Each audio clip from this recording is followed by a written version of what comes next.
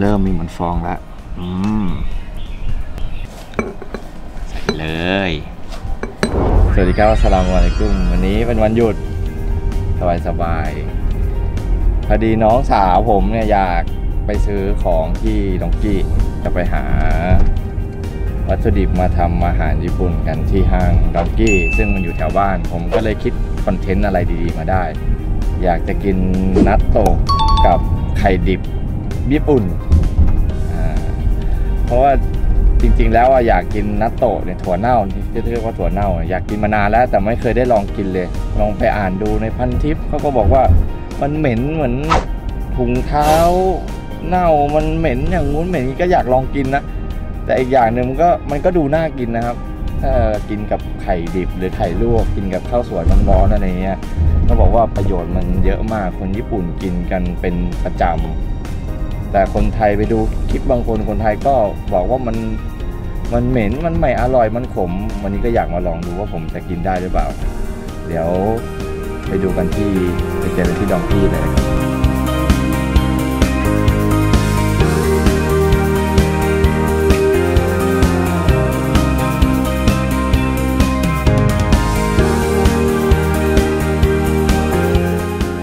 ถึงที่แล้วครับ เดี๋ยว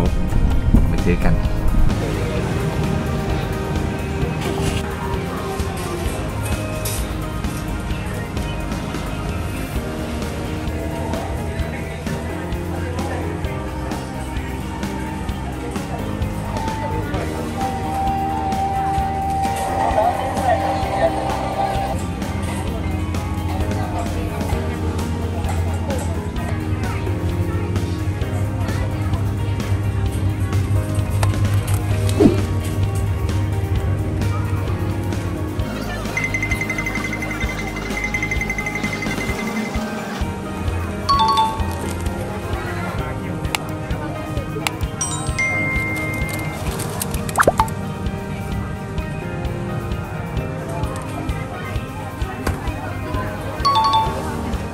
ไปซื้อของที่ดองกี้เสร็จแล้วครับ แล้วมาแวะแมคโครแถวบ้านซื้อนี่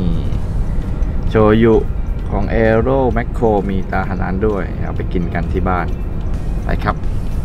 ถึงบ้านแล้วครับ จากที่เราไปดองกี้มากลับไปแมคโครเราก็ได้นี่มานี่นัตโตะหรือถั่วเน่าญี่ปุ่นนะครับ อันนี้น่าจะ 89 บาทได้ 3 แพ็ค กับไข่ดิบไข่ดิบญี่ปุ่นนะครับ เป็นโมริธรรมะนะครับ อร่อยและปลอดภัยไข่สดโมริธรรมะนี่นะครับ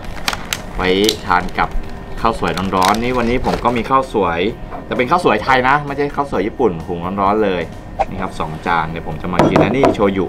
ของเรานี่ครับไข่ดิบก่อนแล้วกันนะโอเค กเกจก่อน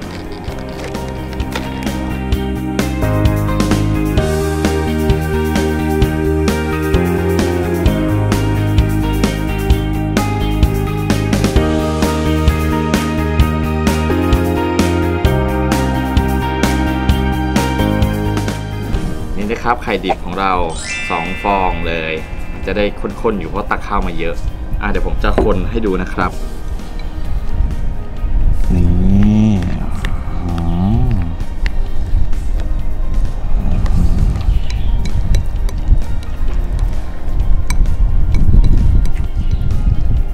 ดี๋ยวผมจะใส่โชยุนิดนึงนะครับเทไปเลยละกันปึ๊บปึ๊บ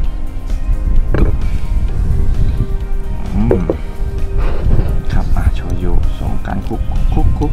แล้วดูนะครับ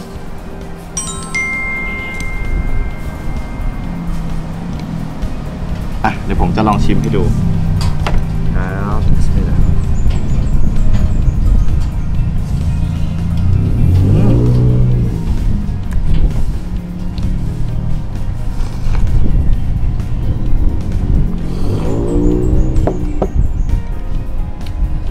มากครับไม่คาวเลย อร่อยอร่อยแตกต่างจากไข่ปกติที่เรากิน มันไม่มีเมือกอะไรที่แบบว่าทำให้เรารู้สึกไม่อยากกินอาหารก็คือมันพูดไม่ถูกมันมันอร่อยครับ มันอร่อยมากเลยครับกินง่ายกินง่ายมาก ไม่ขาว ดีมากเลยครับนะครับกินได้เรื่อยๆเลยครับ ปรุงรสด้วยโชยุดีมากเลยครับ นิดนึงหอมมันอร่อยมากครับ นี่ครับนัตโตะเดี๋ยวเราจะมาแกะนัตโตะกัน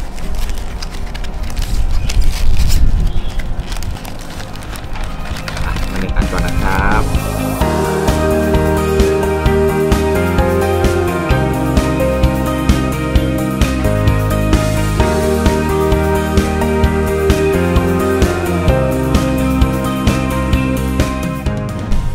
นะครับนัตโตะมันเป็นอาหารเพื่อสุขภาพของคนญี่ปุ่นนะ คนญี่ปุ่นเนี่ยชอบกินนัตโตะกันช่วยในเรื่องของการขับถ่ายนะครับ ระบบในลำไส้อะไรเนี่ยครับ ก็เดี๋ยวจะมาลองดมดมกลิ่นดูก่อนนะครับ ผมว่ากลิ่นเหมือนเหมือนเม็ดกาแฟคั่วนะ เหมือนเม็ดกาแฟคั่ว ไม่ได้เหม็นเท่าไหร่นะ ผมว่าในในในความคิดผมนะครับ ไม่ได้เหม็นเท่าไหร่ อ่าแล้วก็เดี๋ยวผมจะลองทำแบบในคลิปอื่น ๆ ที่เขาทำกันสไตล์ญี่ปุ่นที่ว่าคนคนคนให้ฟองมันขึ้นนะครับ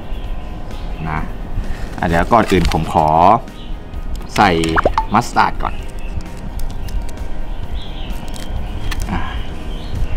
ใส่มัสตาร์ดนะครับ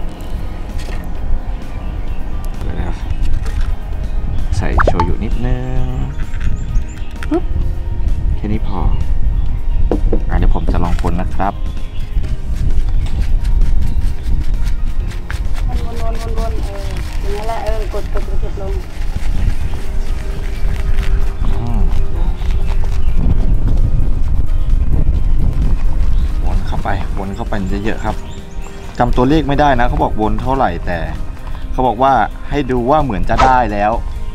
แต่มันยังไม่ได้ต้องไปอีกหน่อยนึง เหมือนจะได้แต่ยังไม่ได้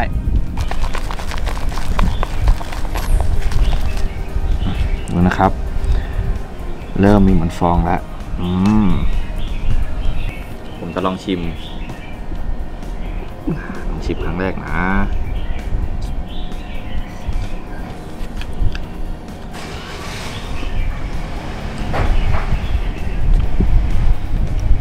อืมผม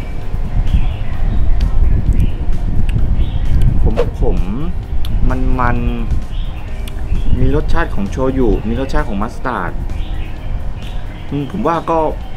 ไม่แย่เหมือนที่เหมือนที่จินตนาการไว้ตอนแรกนะ ผมว่าค่อนข้างจะอร่อยเลยถ้า ถ้ากินไปสักพักหนึ่งก็ผมว่าผมชอบ ในความคิดผมผมชอบ ผมชอบเลยแหละ ผมโอเค ผมรู้สึกว่ามันไม่ได้เหม็น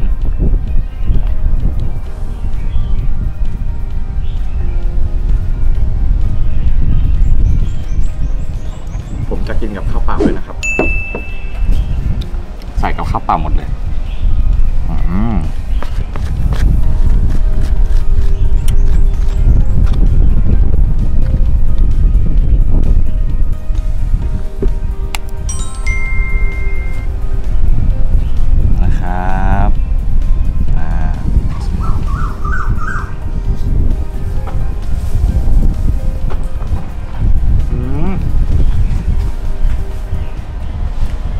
อร่อยครับ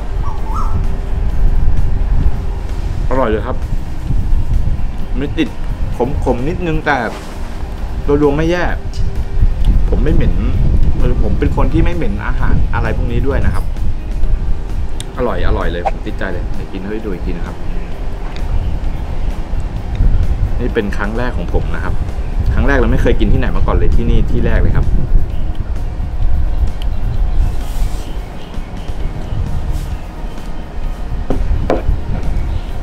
กินกับข้าวญี่ปุ่นน่าจะอร่อยกว่านี้เยอะเลยครับ อ่าเดี๋ยวผมจะเอานัตโตะนะครับ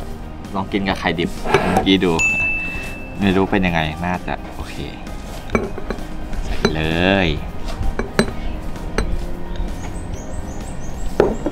นี่นะครับอืมอร่อยมากครับ